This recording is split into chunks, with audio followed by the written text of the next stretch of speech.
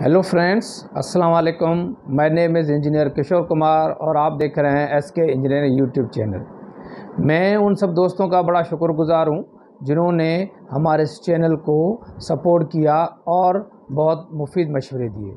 हम कोशिश करेंगे कि मुस्तकबिल में उन मशवरों के रोशनी में इस चैनल को बढ़ाने की और अच्छा बनाने की कोशिश करेंगे। आज का लेक्चर जिसको हम डिस्कस करेंगे वो है हिस्ट्री ऑफ़ सोलर टेक्नोलॉजी तो आइए चलते हैं अपने इस लेक्चर की तरफ़। आज का टॉपिक जिसको हम डिस्कस करेंगे, वो है हिस्ट्री ऑफ़ पीवी टेक्नोलॉजी मैं हूँ आपका इंजीनियर किशोर कुमार। मैं गुज्त पाँच सालों से सोलर एनर्जी के शोबे से वाबस्ता हूँ। मज़ीद मालूम और हमारे प्रोजेक्ट्स को जानने के लिए आप विज़िट कर सकते हैं हमारी website S K engineer dot com dot P K को। और लाइक और शेयर कर सकते हैं हमारे फेसबुक पेज को S K engineering dot P K को। आज हम मुख्तलफ़ अदवार उनको डिस्कस करेंगे कि मुख्तलिफ़ अदवारों में सूरज की रोशनी से कौन कौन से काम लिए जाते थे।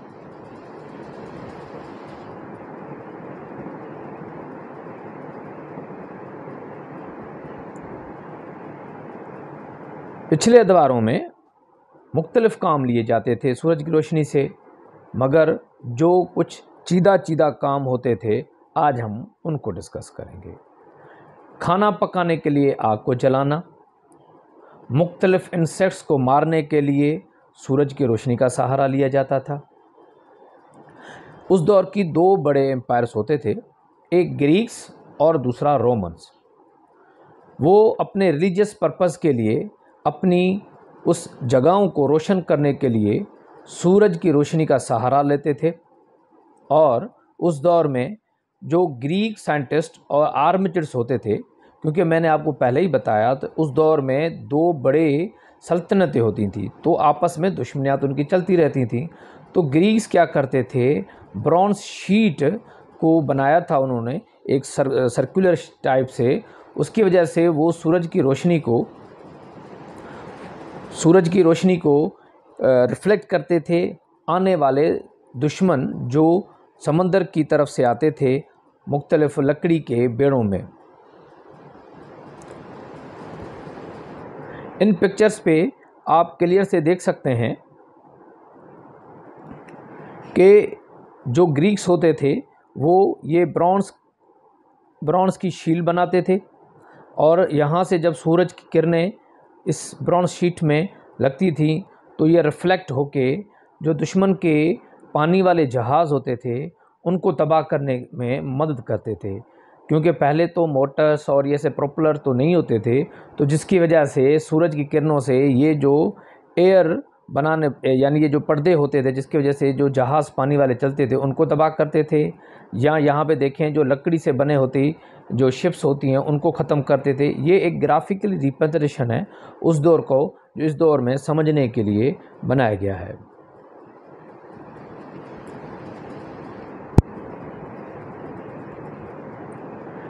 जैसे मैंने पहले बना, आपको बताया, खाना पकाने के लिए आग जलाने के लिए सूरज की रोशनी का सहारा लिया जाता था। मुख्तलिफ़ किस्म की आगें, यहाँ पे जो हम पिक्चर दे रहे हैं, ये तो सिर्फ़ हम एक फॉर एग्ज़ाम्पल की तरफ़ से बताया है मिसालन बताया है कि भाई, इस तरीके से सूरज की रोशनी से, यानी जलाया जाता था, उस दौर में भी यही काम किया जाता था। और मुख्तलिफ़ किस्म के इंसेक्ट्स मकोड़ों को मारने के लिए भी सूरज की रोशनी को, सूरज की रोशनी का ही सहारा लिया जाता था। उस दौर में, क्योंकि जैसे मौसम मौसम चेंज होता रहता था, इस तरह से उनकी ज़रूरियात भी चेंज होती जाती थी। रोमन्स एक बहुत बड़ी सकाफ़त होती थी और बड़े तहजीबदार लोग होते थे तो उनको नहाने के लिए जो उनके बड़े बड़े स्विमिंग पूल्स होते थे, या जिनको हम बड़े बड़े तालाब भी बोल सकते हैं, उनको सर्दियों के मौसम में यही सूरज की रोशनी से उनका टेम्परेचर रिड्यूस किया जाता था और उनको उस पानी को गर्म किया जाता था और उस पानी को फिर यूटिलाइज़ किया जाता था नहाने के लिए। और वहाँ पे जो मर्द हजरात होते थे, उनके लिए अलग स्विमिंग पूल्स होते थे या तालाब होते थे और जो औरतें होती थी, उनके लिए अलग बनाया गया था। और ये आज भी बरतानिया के एक म्यूज़ियम में ये बास जो हैं, ये बने हुए हैं। फिर जैसे जैसे दौर आगे चलता गया और तरक्की होती रही तो उसके बाद 1767 में पहला हीट ट्रैपर बनाया गया खाना पकाने के लिए, यानी कुकिंग पर्पस के लिए। ये उस दौर के मशहूर फ्रेंच स्विस साइंटिस्ट थे, हॉरिक बेनिकेट डी सिसोरो। उन्होंने ये ऐसा कुकिंग पर्पस के लिए हीट ट्रैपर बनाया था। इस हीट ट्रैपर में उन्होंने एक बनाया, यानी ऐसे कह सकते हैं मॉड्यूल बनाया जो पूरा लकड़ी का था और उसके अंदर फिर उन्होंने एक इंसुलेशन दे दी ये वाली। ऊपर से इन्होंने उस पूरे सिस्टम को गिलास, शीशे वाले गिलास से ढांप दिया। जब यहाँ से सूरज की रोशनी इस गिलास पे टकराती थी या टकराती थी तो अंदर के हिसाब से सारा जो है वो गर्माइश पैदा हो जाती थी और इस गर्माइश की वजह से जो वो गर्माइश थी यूटिलाइज़ किया जाता था खाने बनाने के लिए। जैसे जैसे वक्त गुज़रता गया तो इसमें जिद्दत भी आती गई। 1839 में उस दौर के एक साइंसदान, जो फ्रेंच साइंसदान थे, एडमंड बिक्यूरल, उन्होंने डिस्कवर किया फोटोवोल्टिक इफ़ेक्ट को। उन्होंने एक बॉक्स बनाया शीशे का और उसमें दो मेटल की प्लेट्स डाली। और उस प्लेट्स को के अंदर एक एसिडिक सॉल्यूशन भी बनाया और फिर उन्होंने ये फील किया और उन्होंने तजर्बा किया कि क्या इस एसिडिक सॉल्यूशन में जाने के बाद, यानी प्लेट्स जो थी, ये जल, ये जो प्लेट्स इसमें डली होती थी, इसके बाद इसका क्या रिएक्शन आता है? तो उसने ये साबित किया और डिस्कवर किया कि जब ये सिस्टम हो जाता था तो उसके बाद फोटोवोल्टिक इफ़ेक्ट जो था वो पैदा हो रहा था। इसी चीज़ को देखते हुए 1904 में अल्बर्ट आइंस्टाइन ने एक रिसर्च पेपर पब्लिश किया, जो फ़ोटो इलेक्ट्रिक इफ़ेक्ट पे था, उसकी बातों पे सारा वो लिखा हुआ था। फिर चार साल के बाद 1908 में पहली बार कापर क्वाइल का एक सोलर कलेक्टर बनाया गया, जो उस वक्त की एक कंपनी थी, कैरनेज स्टील कंपनी। उसमें एक काम करने वाले विलियम जे बेली थे और उन्होंने ये एक सोलर कलेक्टर बनाया, जो कॉपर कॉयल का था और उस कॉपर कॉयल को पूरे इंसुलेटेड बॉक्स में बंद किया था।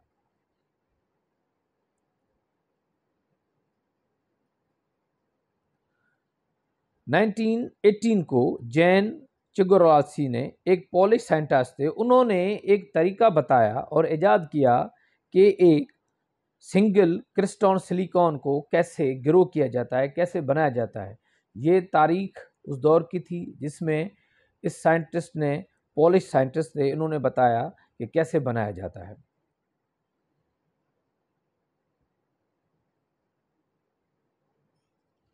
Nineteen fifty four. अगर हम 1954 को ये कहें कि ये फ़ोटो वोल्टेक टेक्नोलॉजी का बर्थ ईयर है तो कोई मजायका नहीं। उस दौर में यूएसए की एक लैब, जिसका नाम बेल लैब्स था, उसमें तीन साइंटिस्ट काम करने वाले Daryl Chapin Calvin Fuller and Gerald Pearson ने एक सिलिकॉन फोटोवोल्टिक सेल बनाया। जो उस सेल का काम क्या था, उसका काम था सूरज की रोशनी को पावर में कन्वर्ट करना और अपनी डेली की ज़रूरियात को पूरा करना। स्टार्ट में तो जो उन्होंने सोलर, सिलिकॉन का जो सोलर जो बनाया था, उसकी एफिशिएंसी चार परसेंट थी, मगर आहिस्ता आहिस्ता वो उसकी एफिशिएंसी को बढ़ाते गए और आखिरकार वो 11 परसेंट यानी 11 परसेंट पे उस पीवी सेल को लेके गए।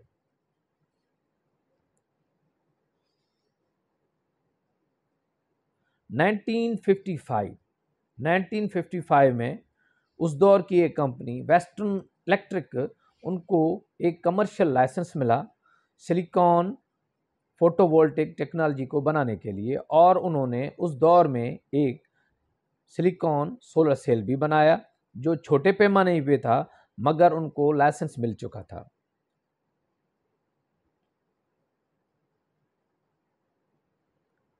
नाइनटीन नाइन, पूरे चार साल के बाद सात अगस्त नाइनटीन फिफ्टी नाइन को एक्सप्लोर सिक्स, एक सेटेलाइट जो ऊपर भेजा गया, वो पहला सेटेलाइट था जिसमें फोटोवोल्टिक इरेज लगे हुए थे और उसमें 9600 यानी 9600 छोटे छोटे सेल लगे हुए थे फोटोवोल्टिक को और उनको मदार में भेजा गया ये उस दौर का पहला एक्सप्लोर सेटेलाइट था।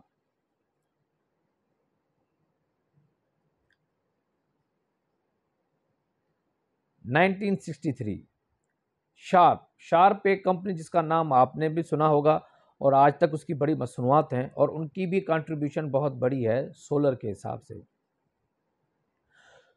इसी कंपनी ने 1963 में कामयाबी हासिल की सिलिकॉन फ़ोटो फोटोवोल्टिक मॉड्यूल्स को बनाने के लिए, जो इन्होंने प्रैक्टिकली बनाया, जो आज तक हमारे, आपने देखा होगा जो पुराने दौर के जो कैलकुलेटर होते थे और उनके ऊपर कुछ शमसी सोलर का जो फोटोवोल्टिक मॉडल था, वो इसी कंपनी का बनाया होता था।